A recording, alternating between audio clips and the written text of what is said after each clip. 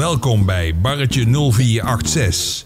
Met gezellige klets, soms met een lach en soms met een traan.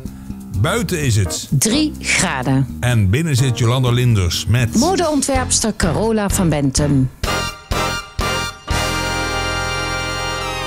Welkom in mijn barretje. En vandaag heb ik te gast onderneemster, schilderes, maar vooral modeontwerpster Carola van Bentum uit Boksmeer. Hoi Carola. Ja, hoi, goedemiddag. Leuk dat ik moet komen. Ja, dankjewel. Ja, ik vind het ook super dat je er bent. Dus oh, ja, Carola, ik eh, ehm, als modeontwerpster, hè, en eh, ik had nog even iets uit de kast gehaald. En dat heb ik hier achter hangen. Ja, ik zie het. Herken je het nog? Ja, ik herken het zeker. Een golden oldie. Ja. Hoe lang geleden denk je? Ja, we hadden het er straks over, hè? Ongeveer 23 jaar. Ja, ja. ja. ja, ik denk een van de eerste of zo. ik denk het wel. Ja, ik kon hem niet weggooien. Ik... Ik, Een mooi stofje. Volgens mij heb ik daar later ook mijn, mijn trouwjurk van gemaakt. Van de zo'nzelfde soort stofje. ja, dat weet ik nog, want dat zei je. Ja. Oh, dat, dat wist jij toen. Ja, ja. ja, ja, ja, ja. ja. Ja. Is Echt het oude, het oude labeltje erin. Heel grappig. Ja, het was nog echt uh, kartiek, hè? Ja, ja kartiekmode. Ja, dat klopt. En heb je nog kartiekmode? Of is het eh, gewoon echt je naam? Nou, Carola mijn van... naam geworden, ja. ja. Dus eh, met eh, ja, Carola van Bentum. Ja. Ja, leuk hoor. Ja, ik vind hem echt... eh, ik gooi hem ook niet weg. Het is gewoon een eh, leuk aandenken. eh. Precies. Carola, je bent hier. Ik heb een eh, aantal eh, kaarten hier voor me liggen. Het is de bedoeling dat jij een kaart pakt. En dan gaan wij eh, even kijken of we de vrouw achter Carola van Bentum... eh, Misschien kom ik er zelf ook nog. Ja. Even kijken. Alsjeblieft. Dus ehm, gewoon eentje uitpakken. En dan eh, gaan we het erover hebben. Nou, begin maar bij die. Maakt niet uit. Ja. Eh, Eens even kijken. Nu moet ik jou geven. Ja. Alsjeblieft. Dankjewel. Niet moeilijk, hè? Nee. Goed nadenken. Even kijken. Mediterend bij de rivier zie je plotseling een forel tegen de stroom inzwemmen. Je bewondert hem om zijn kracht en eigen wijsheid. Al lijkt het je wel vermoeiend. Wanneer had jij de moed om tegen de stroom in te zwemmen? Ehm, nou, ik ben sowieso wel een beetje tegen de stroom inzwemmer. dus Denk ik vaak. Eh, maar jij zoekt natuurlijk de meest eh, ja, eh, opvallende. Ja, wanneer, wanneer heb jij echt eh, dat jij voor jezelf zoiets hebt van... Ik, oh man, ik moest echt er tegenin gaan. Wilde ik, iets berei- wil, wilde ik het bereiken wat ik... eh, eh, Ja, ik denk eh, twee jaar terug. Zat ik een beetje op zo'n dood spoor, zeg maar. Van eh, te veel in de, in, de, in de massa mee, te veel overal aan mee. Weet je wel, toen had ik eh, eh, mijn collecties, verkocht ik ook in andere winkels. En had ik ook twee franchise winkels. En dan word je echt helemaal in, in, in het zakelijke gesleurd, waardoor je creativiteit een beetje ja, onder druk komt te staan, zeg maar. En ja, ik ben niet zo van dat hele veel en massa. Het is, ja, vind het mooier om dingen beter uit te kunnen werken en wat kleiner te houden. En ehm, toen heb ik de boeg omgegooid. Toen ben ik gestopt met die winkels en de franchise. En heb ik mijn hele winkel omgebouwd tot mijn echte eigen plek. Dus dat ik ook weer meer eh, kleinere series ontwerp, ook meer met schilder bezig ben. Dus echt niet met de massa mee, maar gewoon op je eigen gevoel afgaan en je eigen ding gaan doen. Dus echt tegen de stroom in. Ja, je hebt er letterlijk Ja, omgegooid. je Dus- ziet natuurlijk in de mode is alles, weet je wel, confectie. En alles moet nog eerder klaar zijn. En, en de collecties zijn al een jaar van tevoren klaar. En die zijn in, in de winter komt de zomercollectie al binnen. En al dat... eh, En, en ja, op een gegeven moment ga je daarin mee. Maar eh, ja, ik denk zelf dat dat zo niet werkt. bent gewoon inderdaad letterlijk terug uitgegaan en tegen de Ja, gewoon weer terug bij de basis, zeg maar. Back to basic. En ja, dan gaat het eigenlijk veel beter. En dat je ook gewoon het contact met de mensen houdt, zeg maar. Hè? Want je, ja, dat vind ik gewoon ook heel belangrijk. Dat je daar nog genoeg aandacht aan kan besteden. Ja, en je kunt meer kwaliteit leveren. Ja, precies. Ja. dat dat je Ja. ja, en je kunt ook gewoon je, je, je kracht... eh, eh, is bij mij natuurlijk mijn ontwerpen en mijn schilderen. En, en ik vind het heel erg leuk om mensen om me heen te hebben en mensen aan te kleden. En ehm, ja, daar heb ik nou gewoon weer meer tijd voor. Ja, want je schildert ook, hè? Ja, ja, ja. Dat is echt steeds meer geworden, hè? Want Ja, tenminste wat ik, ja eh, daar ben zo- ik, eh, ik denk, eh, een jaar of negen geleden mee begonnen. Een vriendin van mij is kunstenares en toen zei ik van... eh, ik wil eigenlijk eh, een paar mooie schilderijen van mijn kinderen. Maar ja, ik zou eigenlijk zelf wel eens willen kijken of ik dat kan. Ah, zei Emily, kom je bij mij op cursus en dan... ja, dat kan jij wel. Ik zei, nou, als ik dat zo zie wat jij doet, nou, dan weet ik ook niet of ik dat kan. En toen ben ik eraan begonnen en ja, Je, je hebt talent. ja, het lukte. En dan is het natuurlijk wel, eh, ja. En ik merkte ook gewoon dat ik het heel leuk vond om te doen. Was het natuurlijk wel ook dat ik ehm, eh, op mijn opleiding en op school eh, altijd wel met tekenen en creatief bezig was. Maar echt schilderen had ik niet, niet echt opgepikt, zeg maar. En het is gewoon ook heel ehm, ehm, ja, rustgevend, zeg maar. Hè? Als je daarmee bezig bent, dan, dan vergeet je de rest om je heen. En je hebt natuurlijk nog wel best wel veel aan je hoofd als onderneemster. ja, ja. En je bent altijd aan het denken en praktiseren. En eh, oh ja, als je daarmee bezig bent, dan ben je eventjes eh, in zen, zeg ja, maar. in zen. Dus je hebt het echt zen gemaakt voor jezelf. Pakken de volgende kaart. Even kijken. Oh, dan moet ik kijken. Stiekem kijken, hè? Oh, deze is ook leuk. Van een zonnebloem wordt eigenlijk iedereen blij. En niet voor niets staat deze bloem symbool voor levenslust. En met een wenskaartje kun je iemand ook een zonnebloemeffect geven. Alsof de ontvanger weer helemaal opgeladen wordt. Wie wens jij kracht, levenslust of energie toe? Ehm, ik denk mijn allerbeste vriendin. En waarom? Als ik vraag me. Ehm, nou, dat is, dat is Yvonne. En zij is al vanaf, ehm, ik denk, mijn langste vriendin. Ja, ik heb nog een paar, maar een van mijn, ja, in ieder geval mijn beste, langste vriendin, Ja, zeg maar. ja. Ik heb haar leren kennen eh, op school, op de modeacademie. En we hebben heel veel samen meegemaakt. En zij heeft heel veel hobbels in haar leven gehad. En ehm, ja, ik wens voor haar dat ze nou eindelijk eens gewoon de geluk echt heeft gevonden en de rust krijgt. Eh, ja, en iemand waar je het meest om geeft, ja, daar gun je natuurlijk het meeste. Hè? Dus die krijgt een echt zonnebloemkaartje van jou. Ja. Ja, ja. ja, leuk, Ja. leuk. Nog één. Heb je al te neiging? Deze is, eh, dit is een nadenkertje. De stilte geeft jou een bril die het mogelijk maakt je omgeving veel scherper waar te nemen. Na enig aarzelen zet jij die bril op. Kijk nu eens om je heen en beschrijf iets wat je anders nog nooit gezien zou hebben. Dus in deze tijd bijvoorbeeld, eh, eh, wat eh, zie jij wat jij anders nooit gezien hebt? Ehm, Oeh, dat is moeilijk, hè? Ja, dat is een nadenkertje. Ja. Ja, je kunt een beetje... Ja, nu is het natuurlijk wel de tijd dat je zo'n bril eens opzet, hè? Nou, ik denk dat heel veel mensen hem in deze tijd wel op hebben gekregen. Ja. Ja, en ik denk dat dat ook wel het positieve is uit deze tijd. Ehm, ja, het is niet dat ik nieuwe dingen zie, maar wel bevestigd wordt in bepaalde dingen. Ehm, ja, dat het ook. ehm, Kijk, ik kan me voorstellen hè, dat je in deze tijd eh, dat je ehm, eh, in één keer met eh, hele andere dingen te maken krijgt. Hè? Dat, het, eh, dat je in één keer dingen ziet van, oh, het kan dus wel. ja. Ja. Hè? Je, je, ook met Ja, dat is nou, nou bijvoorbeeld eh, dat je winkel dicht is. Ja, dat, dat kun je niet voorstellen. Dan had je nooit gedacht, een keer een dag de winkel dicht. Denk oh, dan gaat gaat, Oh nee, dat kan echt niet. Want hè, er zal eens iemand voor de deur staan, voor gesloten deuren, en, hè, weet je wel. En, eh, en ook dat ik, dat ik van tevoren dacht, als ik dat had geweten een jaar terug, van dat je nu een week dicht moest, dan was ik finale paniek geraakt. Dan denk ik, oh, dat kan echt niet. En dan zijn we gewoon al zoveel weken dicht. En dan berust je eigenlijk ook in. Dan kom je wel weer op andere inzichten, andere ideeën.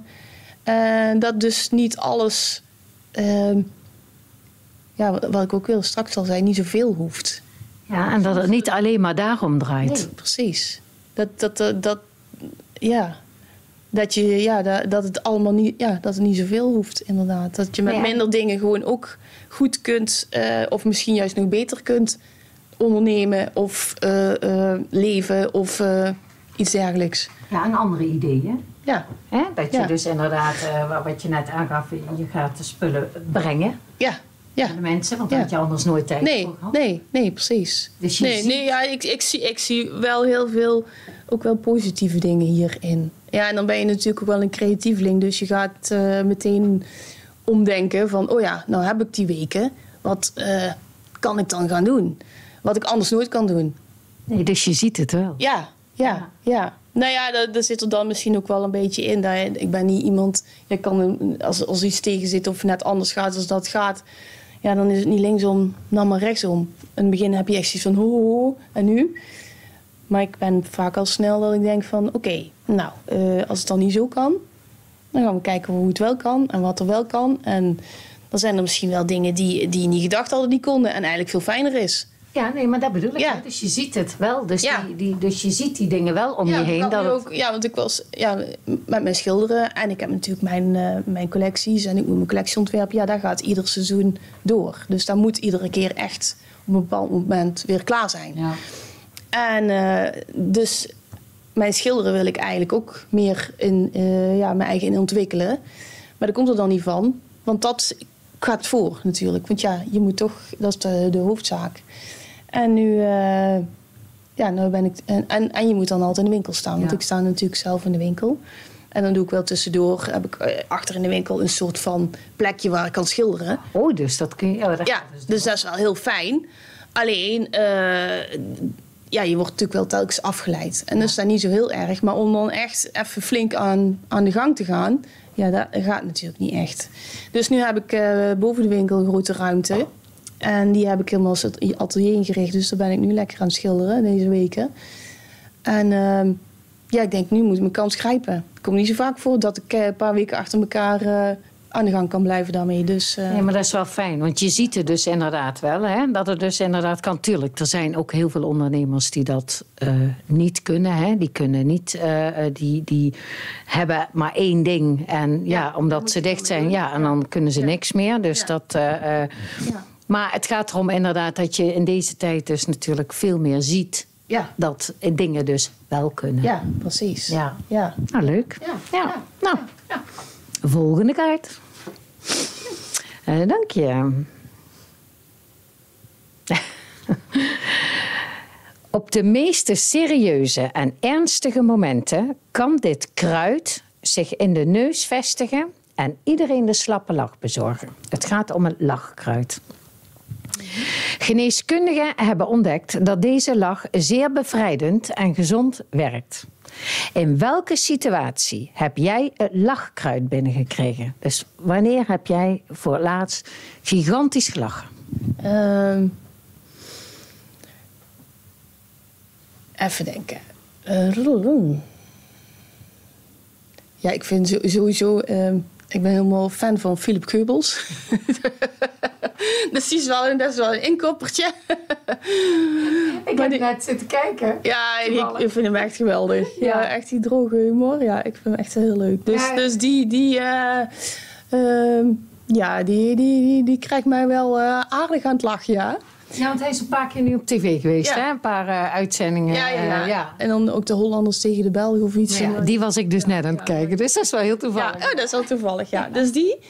En gewoon eh, zo, ehm poeh, pas was er nog een keer iets. Maar dat kan soms een klein ding zijn. Dan zit je met de familie aan tafel en dan in één keer heeft er iemand een, een of andere opmerking. En dan, ja, maar ik weet niet meer precies wanneer het was. Nee. Maar dat, is, eh, Nou, je bent altijd wel heel vrolijk. ja, ja, Dus, eh, ja. Positief ingesteld en vrolijk en dus altijd lachen. Ja, ja. Kan ook wel eens anders zijn. Nou, ik ben benieuwd. Pak er nog maar eentje op.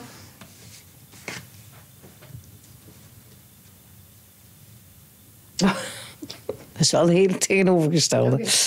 Dus. Nee, inmiddels loop jij al uren naast elkaar. En langzamerhand is het gesprek verstomd.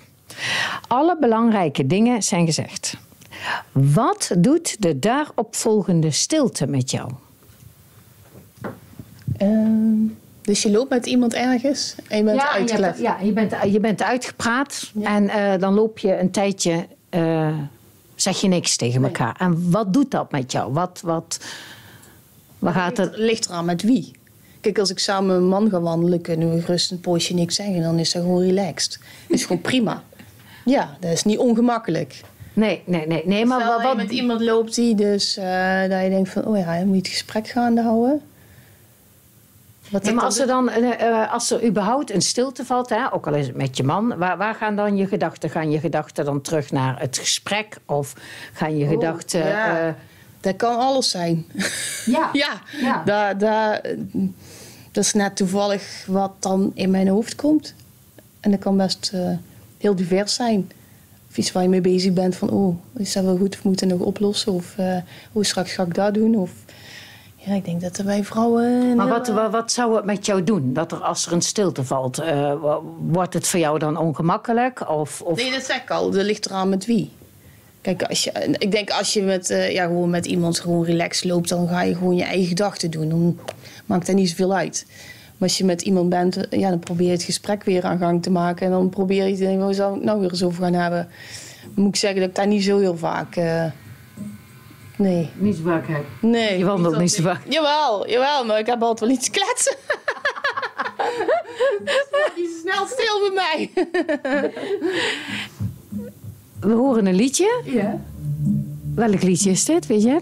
In die Air Tonight van Phil Collins. Oh ja. En dat is jouw favorietje? Eh, nou, daar hadden we het straks over. Ik zeg al, ik ben niet zo heel specifiek van... Ja, wat is nou mijn favoriet? Toen hadden we het even over ja, iets van vroeger. Ik zei, oh ja, Phil Collins. Dat vond ik echt altijd... eh, vind ik nog steeds een hele mooie artiest. Dus daar heb ik, eh, denk ik, een stuk of... ja, alle cd's ongeveer van. En eh, dit is dan natuurlijk wel de echte legendarische... Het blijft gewoon een mooi nummer. Ja, ja, ja, klopt. Na, na, ja, hoe oud is dit nummer? Ik weet het niet. Het is nog steeds, steeds kei mooi. Ja. ja. Ik zeg wel 40 jaar, maar dat zal wel niet. Maar hij was, eh, hij was hij vorig jaar niet in de Goffert? Of in Nijmegen? Nee, dat Ja, ik ben, wij zijn er geweest. Ik ben, ik ben er geweest. En Oké. eh, dat was in de Goffert, of niet? Oké, ja, dat weet ik niet. Ja, ik ben sowieso geen concertganger en zo. Dus... Ja, ik ook niet, maar ik moest mee. Oh, je moest mee. nou, ik ben ook wel eens meegemoet en dan is het ook wel heel leuk. Maar ik zou het zelf niet zo snel eh, per Nee, se nee, op gaan zoeken. eh, om, ja, ik ben heel divers. Ik, ik, vind, ja, ik ben heel divers met muziek. De ene keer vind ik dit leuk en dan dat leuk. Ik heb niet specifiek. Maar van Phil Collins was wel... Daar had ik wel een stapeltje...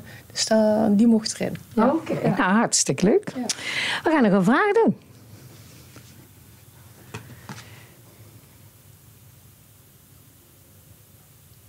Nou ja, het zijn zware kaarten hoor. Het leven betekent afscheid nemen. Iedere dag weer van dingen die voorheen vanzelfsprekend waren. Eten van dit kruid, het is dus adieu-kruid. Eten van dit kruid maakt afscheid nemen gemakkelijker en geeft je kracht om dingen te nemen zoals ze zijn, dag voor dag. Durf jij dit kruid tot je te nemen en los te laten wat achter je ligt? Ehm, Dus kun je dingen Loslaten. Kijk, ja, loslaten. Vergeten, dat, dat, dat, dat, kan niemand, denk ik. Nee. Maar het, eh, dat je loslaat, dat je verder gaat met Ja. je... Ja, dus som, ja, dat kan ik. Eh, soms kost het wel meer moeite. Maar als ik weet dat het gewoon echt afgesloten is, dan durf ik de kruid wel te nemen, ja. Maar dat, ik ben wel iemand, ik wil wel zeker weten dat het dan ook klaar is, zeg maar. Dus dingen die je nog niet zeker weet van, oké, daar kan ik niks meer mee. Daar blijf ik wel aan vasthangen. Heb je een, een, een, een, een voorbeeld dat je zegt van, nou weet je, dat is eh, gebeurd. En eh, kijk, vergeten doe je niet, maar wel loslaten. Ja, bijvoorbeeld, je hebt wel, ik heb wel eens conflicten met iemand gehad waar heel lang heeft ja, gesudderd. En ik ben dan wel iemand van, oké, nou is het klaar en zand erover. Eh moet dan wel even over gepraat worden van, oké, hè. En dan is het ook, kunnen we ook gewoon weer verder, zeg maar. Ik ben niet iemand die, die bijvoorbeeld... eh, eh, lang eh, boos kan zijn op iemand. Je blijft niet in dingen hangen. Nee, nee ten, ten, ja, als het bespreekbaar is, zeg maar. Kijk, je hebt ook wel situaties, ja, dan, dan, ja, dan heeft iemand jou zoiets gekrenkt. Ja. En terwijl je alles hebt willen proberen op te lossen. En daar niet in meegegaan kan worden, ja, dan, dan is dat wel lastig. En dan laat, laat ik dat half los, zeg maar. Ja, precies. Dan, Ja. dan is het van, maar dan is het nog niet opgelost. Is niet Dan- dan vergeet, ja, Nee, dat, dat blijft wel knagen. Ja. Maar ik denk dat dat vrij logisch is. dat is het ook. Ja. Ja, is het Maar verder, eh, ja, ja, een paar jaar terug is mijn moeder dan overleden. En ja, dat, dat was natuurlijk heel heftig. Dus ze was een lang ja, een half jaar ziek geweest, eh, kanker, en toen toch overleden. Maar eh, ja, dat, dat was afgerond. We hebben alles gezegd, we hebben alles gedaan, we hebben ze fijn verzorgd, we hebben ze. Ja, dan kun je ook niks meer. En ik, heb, ik kan alles met ons man bespreken. En zeggen mensen ook wel eens ooit van... eh, ja, bijvoorbeeld met zo'n... Man was natuurlijk altijd in de winkel. Die Ja, was ik van de ja, mooie ja. kleren. En die had altijd al de eerste nieuwste dingen van mij aan. En, eh, dus dus die, die, die, ja, die, die hoorde bij, bij, bij mij en de winkel ook wel, zeg maar. Ja. En toen ook de opening was van, eh, ja, van de nieuwe verbouwing. Toen vroegen mensen ook van, weet je dan niet moeilijk dat jullie er nou niet is? Ik zei, nee, eigenlijk helemaal niet. Want voor mijn gevoel, eh, ik weet wat ze gereageerd had. Ik wist precies wat ze ervan vond. Ja. Ik weet precies wat ze zou gezegd hebben. Dus eigenlijk is het eigenlijk ook wel, het is prima, het is goed. Ja. Ja. Kijk, als je nou hebt dat mensen denken... oh, dat had ik graag nog willen laten zien... want dan had ik willen weten wat ze ervan vond. Nee, met haar is het gewoon... ja, je, je, ja, dat is dan wel fijn als je iemand goed kent... waar je dan afscheid van neemt. Dan heb je dat natuurlijk niet zo. ja, en je weet ook hoe ze gereageerd zou Ja, hebben. ja Dus, precies. eh, ja. ja. Ja, dus dan heb je niet zo van... oh, hoe zou ze dat gevonden hebben? Ja, dat wist ik, wist ik wel. Ja. Helemaal trots en eh, vijf veren, veren erin. Ja, ja, Ja, mooi Dus, eh, ja, dus dat. maar dan is ook iets afgerond. ja. Maar ik vind het wel lastig als dat nog niet is. Ja, mijn, mijn dochter zegt wel eens: Mam, hou nou zo voor op. Laat dat nou. Die kan dan wel makkelijker. Ja, dus ik vind het wel. eh, Ja, maar ik denk dat het voor heel veel... oh, eh, je kunt heel makkelijk tegen iemand zeggen van laat maar zitten.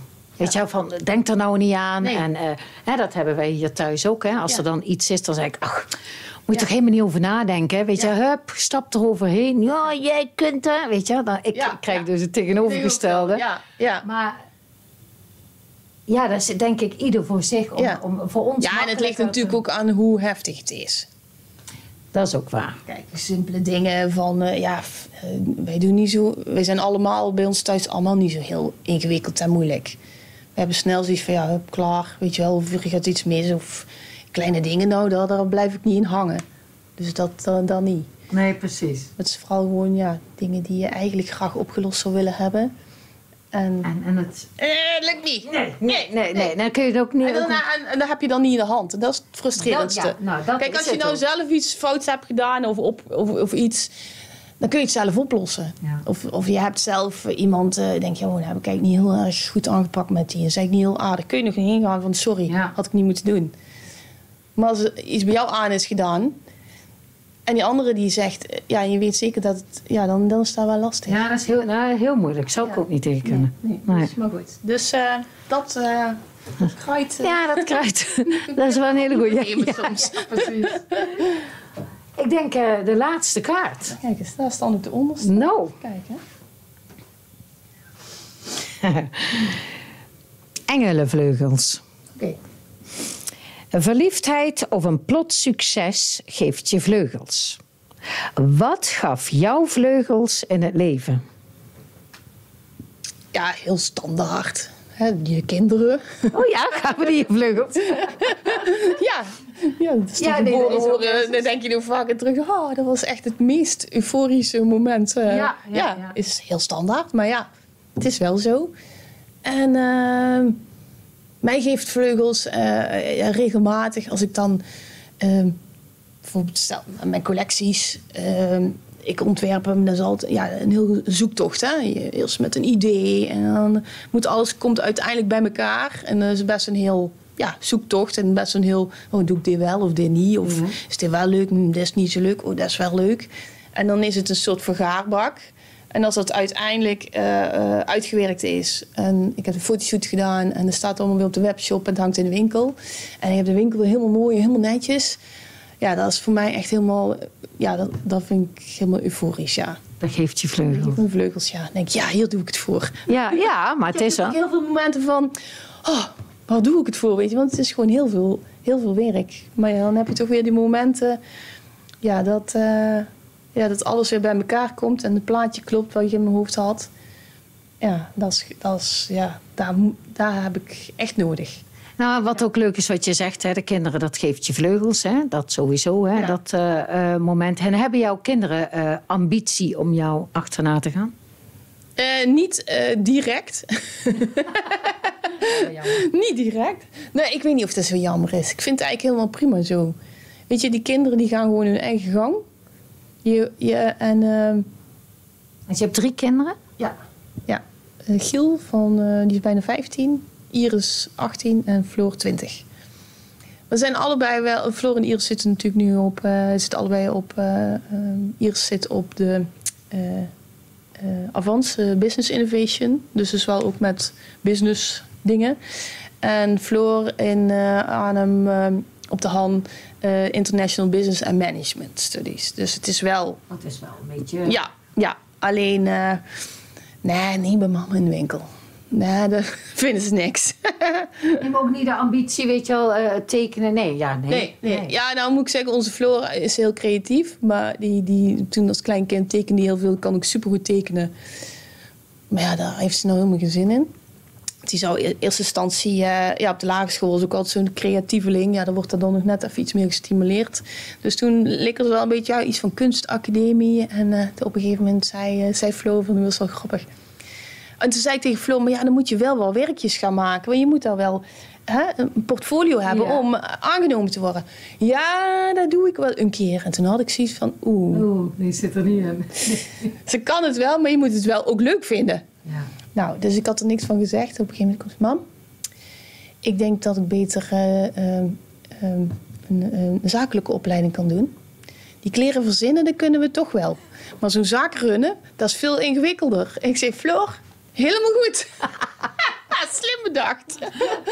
Oh, dat is wel ja, ja, dus dat is wel grappig.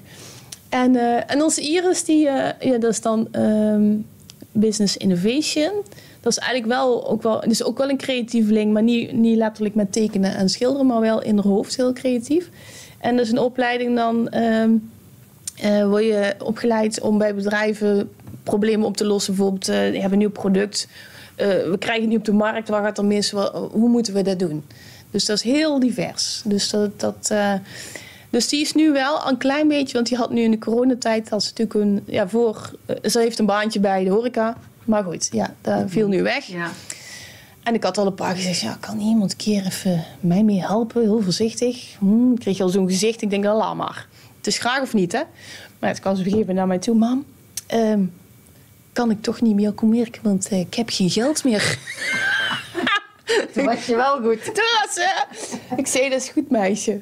Dus die, zij komt nu af en toe... eh, en ze heeft nu... eh, en die hebben natuurlijk ook wel goede ideeën. Dus we hebben nu ook wel een, een- wat plannetjes bedacht... van wat kunnen we nog meer zo in de coronatijd... om de mensen, als ze niet naar de winkel kunnen... Hè, nog, eh, nog wat dingen verzinnen. Dus dan zijn we van de week... eh, gaan we daarmee aan de slag. Ja, dat, dat, ja, dan komen ze Wie zelf weet, naar je hè? toe. Wie weet. Ja, precies. Slaan ze nog om? Ja, daarom. Ja. Maar ik heb, heb altijd wel zoiets gehad. Je, je hebt ook van die ouders die er dan... Ja, ik weet niet of dat nog is, maar... Ik kan me voorstellen die een beetje pushen van... Oh, kun je niet eh, bij ons... eh, eh, kun je niet bij mama in de zaak of zo? Maar dat werkt niet. Ja, maar ik denk dat het tegenwoordig niet meer zo is. ik denk dat er gelukkig, ja, vroeger was het gewoon Ja. zo, jij wordt dit en jij Ja, wordt dat, precies. klaar. Je had dus zelf niet dus ik heb er ook zoiets van... gewoon een eigen ding. En nu is het heel leuk. Ja. Heb jij even een week tijd? Ja, ja dan kom ik. Nou, en dan is het ook leuk. ja, en en dan willen ze ook wat doen voor je. Anders dan... Maar ja, dat heb je zelf ook. Ja, maar ja, jij geeft hun weer vleugels. Ja, ja. Dus eh, Ja. dat is toch het, eh, het mooie.